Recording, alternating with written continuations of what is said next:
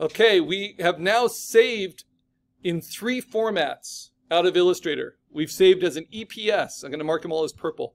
We've saved as an SVG, and we've saved as an AI. Notice that the EPS is the only format that doesn't give you a preview, which is kind of weird, but that lets you know that EPS is really for Adobe products. So this is what you do not do, and I showed you this last time. You do not click on your EPS and open it with Photoshop. And now I have Photoshop 2025 on this computer. Which means I need to uninstall the older ones because they take up way too much space. So this is what you do not do. And I'll be able to tell through the way it rasterizes your color. You do not open it in Photoshop because it will force you to rasterize it. And why go to all the trouble of saving a vector format just to rasterize it? So instead, this is what you want to do. You want to open up Photoshop on its own. So I'll open up Photoshop, right? And because we have a new version just released, I have to get past all of the, the new intro stuff. Do, do, do, do, do.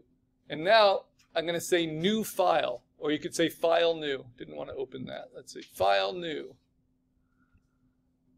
And we're setting up our pixel space. This is also going to be our first print ready project.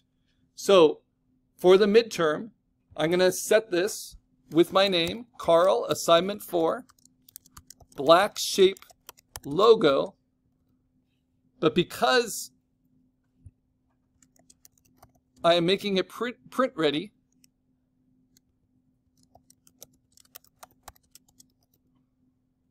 I'm going to say at the end to print. Because I'm saving lots of different files. Now this will have print at the end of it. And then before I hit create, I need to set what my pixel dimensions are. I'm going to change it to inches. And we're going to use our standard for the lab, 8 inches, which will be true for all of your midterm prints.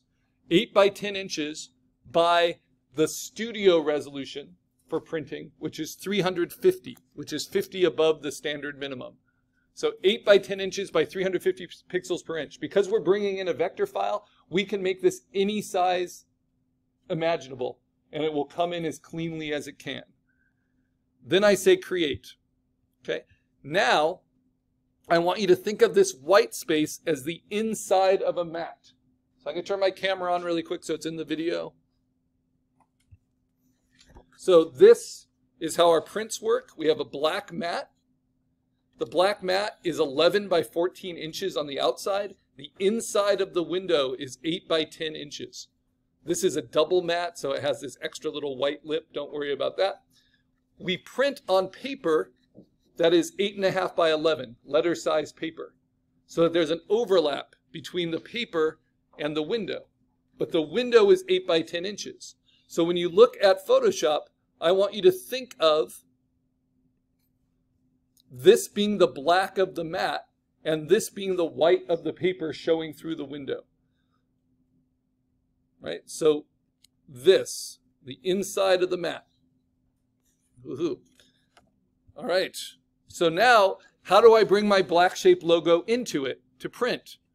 What I do is I get my EPS file, the one that doesn't have a preview, and I drag and drop it. And then I can use Option because it's Photoshop, it's already going to lock your proportions, but I can use Option to shrink it or to grow it. Now, because you dragged it in and it's an EPS, it's going to center itself exactly based on your vector shapes.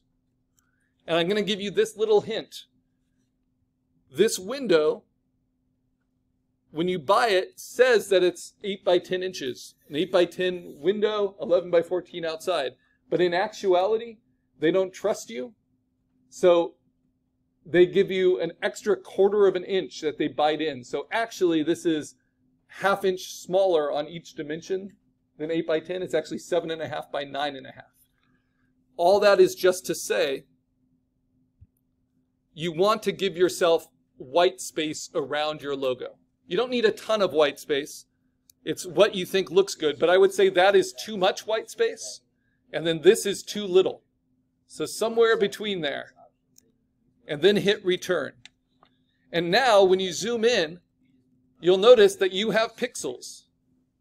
But the pixels are generated from a smart object vector that can be resized at any time and it will always print as cleanly as it can within the pixels that you give it. Because we're doing 8 by 10 by 350, this is the perfect amount of pixels for printing. Why not have a thousand pixels per inch if a vector can do it? Well, because if you put too many pixels per inch for printing, then it will buffer while it's printing. And it will actually slow down the print job and might even stop the print heads before it's finished. And then the inks dry at different rates. And if the inks dry at different rates, then they don't all dry together at the same sheen. So that's why you want 350 at 8 by 10. You could go up to 600 if you want, but it's going to print the same way and it's going to print faster at 8 by 10 by 350 pixels per inch. Okay, now we can save this and we're going to save it as our PSD file, right? So this is Karl assignment 4 black shape logo to print as a PSD file. I'm going to save it to the desktop so I know where to find it and organize it later. Good. All I would need to do to upload this to Canvas, I'll go ahead and do that as well, is turn off the background. So I see the checkerboard. And then I'm going to say File, Save a Copy. And even though it has to be raster to go onto Canvas, I want it to be a PNG format because the PNG will not have the white background. And if I were going to put a logo on a website, it would be a PNG.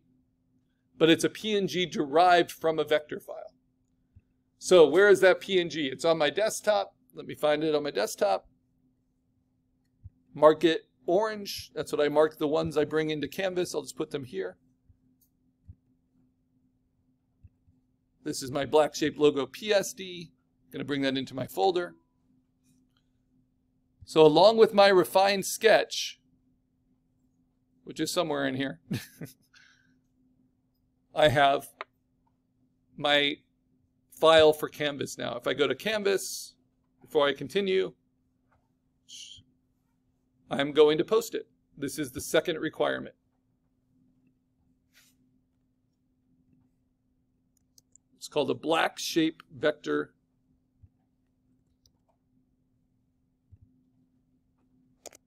And this is what matters the most.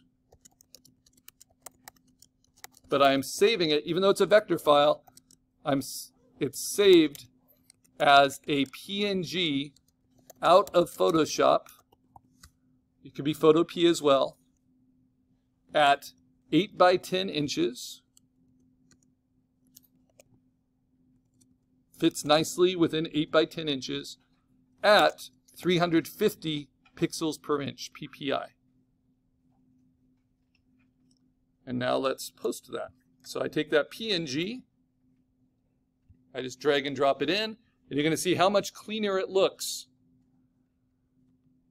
than my refined sketch, right? Because I used vector programs, in this case Illustrator, to make it. You could also use vector.com.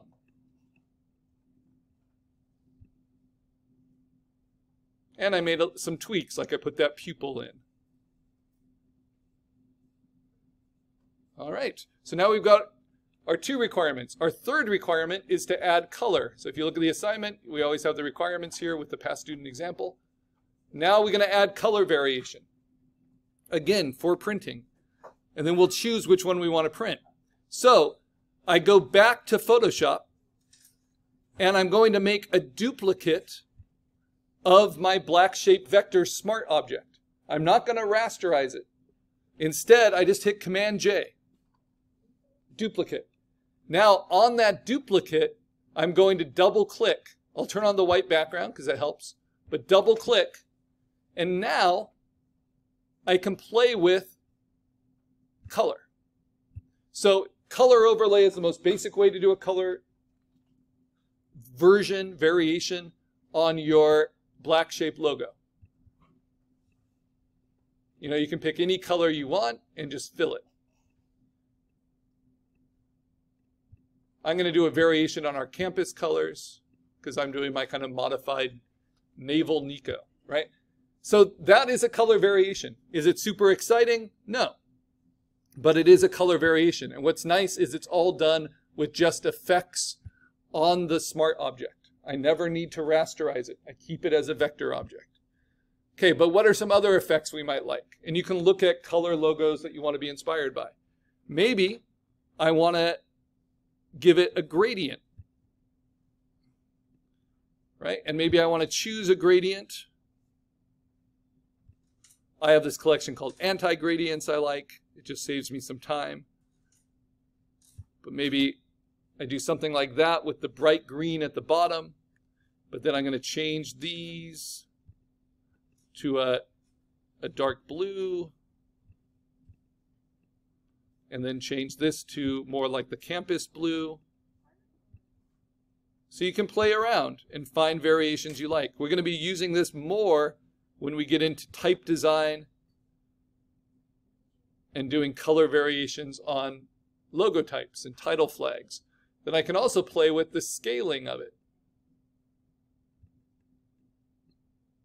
You know, how far it goes. And this green is a little toxic, so I'm going to mellow that out a bit. And maybe find a step in between the green and the blue I want it to pass through, like that. Maybe deaden this blue a little bit. This is all kind of fine-tuned to get a nice kind of production color. When you do the intense, most saturated colors, those aren't going to be able to match, be matched by printers as well. So that's a gradient. This was the full color overlay. This is the gradient. Then I can play with the opacity of one over the other. Right? So if I want it more subtle, I can kind of mix that green into everything, just a little bit. And that's starting to look more official. Right? But there are other things you can do as well. You can do drop shadows. I'm going to make it a little bit darker, a little bit smaller,